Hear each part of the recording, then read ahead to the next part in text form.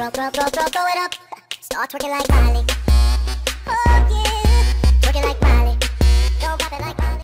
Kỳ lạ đầu em bé mọc trên bông súng. Dư luận ở miền Tây đang xôn xao câu chuyện là về một bông hoa súng có hình đầu đứa bé đang đầy đủ mặt mũi mọc trong ao nhà của ông Tám Tiên, ấp 4 xã Phước Lợi, Bến Lức, Long An.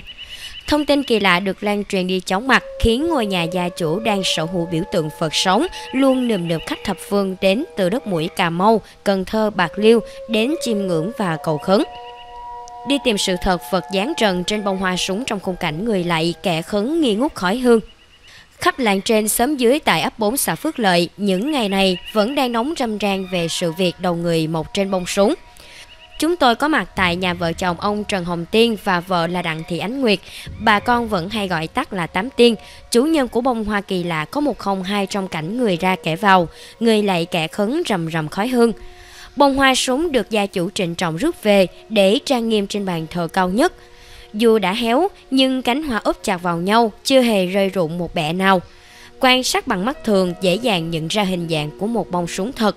Và kỳ lạ hơn, phía trên mang nguyên đầu hình em bé có đầy đủ mắt mũi miệng. Điều đó là minh chứng cho sự hiếu kỳ của người dân khắp nơi đổ về chiêm ngưỡng nhiều ngày qua. Bà Tám Tiên những ngày này không thể làm được gì, cửa hàng vật liệu xây dựng của gia đình cũng rơi vào cảnh tấp nập người vào mà chẳng có ai mua, vì mục đích của họ là xem bông súng kỳ lạ. Qua lời kể của bà Tám Tiên, chúng tôi được biết bông súng này mọc trong ao cá rộng 50 mét vuông của gia đình bà Tám. Ao súng nhà bà mua cách đây hơn chục năm, chỉ để thả mấy con cá cảnh cho đẹp thôi. Trong ao có hai khóm súng, mùa nào cũng nở hoa rất đẹp. Vào khoảng 3 giờ chiều cách đây đúng 2 tuần, người cháu của bà Tám là Út Thảo vội vã ghé cửa hàng vật liệu và cũng là nhà của bà để xin bông súng về làm mồi nhậu lay rai với mấy ông bạn. Chưa đầy 5 phút, thằng cháu mặt tái xanh hoảng hốt chạy thuộc mạng từ phía ao lên. Anh ta không nói gì mà về thẳng nhà. Út Thảo kể lại việc bông súng có đầu người cho con trai của bà Tám nghe. Không tin lời ông anh họ, con trai bà Tám vội chạy xuống ao súng nhà mình.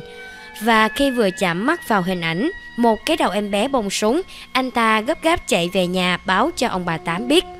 Tôi chạy xuống ao và nhìn theo hướng chỉ tay của Út Thảo, miệng nó ba loa bảo tôi nhìn kỹ đi.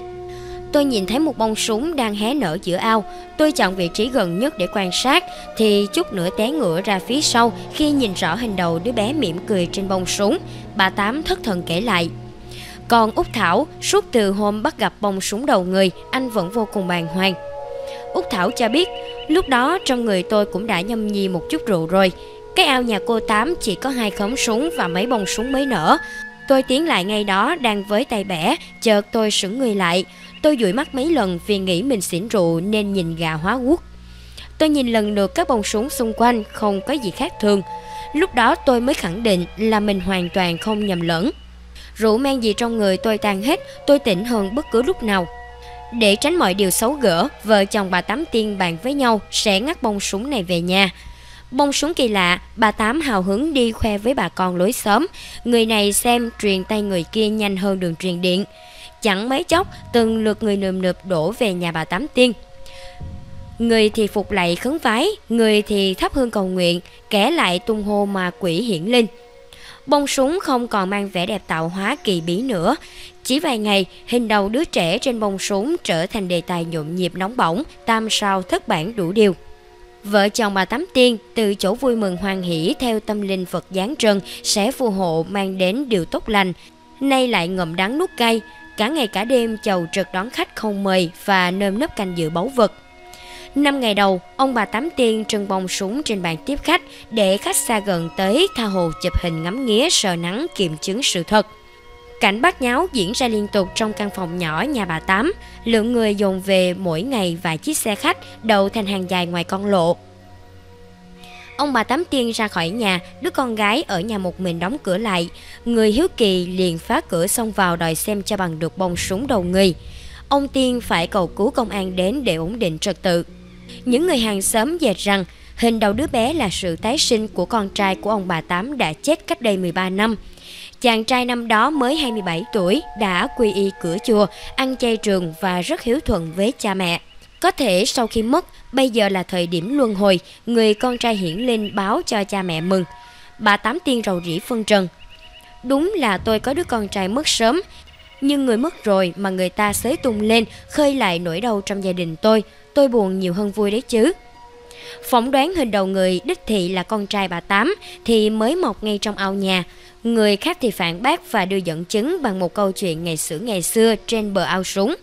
Có một bà mẹ đi làm về, đến bờ ao thì đặt đứa con ngồi xuống nghỉ ngơi. Chẳng may đứa trẻ bò ra và rớt xuống ao chết đuối. Bà mẹ buồn quá, hôm sau trẫm mình xuống ngay chỗ khúc ao đó đi theo con. Đêm đêm, người ta nghe thấy tiếng trẻ nhỏ khóc, rồi ngày rằm lại nghe thấy tiếng tụng kinh đều đều phát ra từ ao. Rất nhiều câu chuyện được dệt lên ly kỳ và huyễn hoặc khiến những tín đồ dị đoan bỏ làm bỏ ăn, tụ tập ngồi lê đôi mắt trong nhà ngoài sân nhà bà Tám Tiên. Cuộc sống gia đình của ông bà Tám Tiên bị xáo trộn, không ai được yên. Khách thập phương chú ý từng người trong nhà bà Tám. Họ cố gắng quan sát để xem tiếp sau sự kiện Phật hiển linh. Thì gia đình bà Tám Tiên sẽ đổi thay như thế nào? Bà Tám bức xúc nói, Đúng là gia đình tôi có sự thay đổi lớn, đó là công việc bán buôn bị ế ẩm, con cháu không dám ra đường, cửa nhà thì khi nào cũng khóa trái. Mặc dù bị quấy nhiễu và làm phiền, nhưng khi ngắm bông súng trên bàn thờ, ông bà Tám Tiên lại nhen nhóm niềm vui, có chút gì đó lần lần hạnh phúc. Ông Tám chia sẻ, theo tôi thì bông súng đầu người chỉ là hiện tượng tự nhiên mà thôi. Vì thấy nó lạ nên gia đình tôi mang về để bà con lối sớm cùng xem. Ai dè sự việc đã đi quá giới hạn chỉ vì lời đồn. Tuy nhiên, ở khía cạnh một gia đình Phật tử hơn 10 năm đi chùa và ăn chay trường, tôi có niềm tin tốt lành về một điểm báo trước. Cánh phó nháy chuyên và không chuyên hùa vào ăn theo, túc trực ngay cửa ra vào nhà bà Tám. Chớp thời cơ chụp đủ mọi kiểu dáng về bông súng, rồi bán cho khách ở xa với giá 20.000 đồng một tấm hình. Khi những tấm hình được tung ra, lại dấy lên tin đồn bông súng giả mạo, gia chủ lắp ghép để tạo tiếng vang. Tuy nhiên, theo quan sát của chúng tôi và hầu hết dân tình địa phương, thì bông súng đầu người là thật, không hề có bất cứ sự tiếp tay nào từ con người. Ông Sáu, nhà kế bên bà Tám cho biết, tôi là người nhìn thấy bông súng khi gia đình chị Tám mang về. Bông súng còn tươi nguyên và sự thật có hình đầu một đứa bé. Đây là điều làm tôi quá bất ngờ. Gần hết đời người rồi nhưng tôi chưa bao giờ gặp bông súng kỳ lạ đến như vậy. Còn anh Tâm, chuyên gia sinh vật cảnh lặn lội từ thành phố Hồ Chí Minh xuống để trầm thấy không bằng một sơ. Sau khi sợ nắng kiểm tra độ chính xác tới 100%, anh Tâm thốt lên – Tôi chơi sinh vật cảnh hơn chục năm, quả thật bây giờ mới thấy hiện tượng lạ lùng như thế này.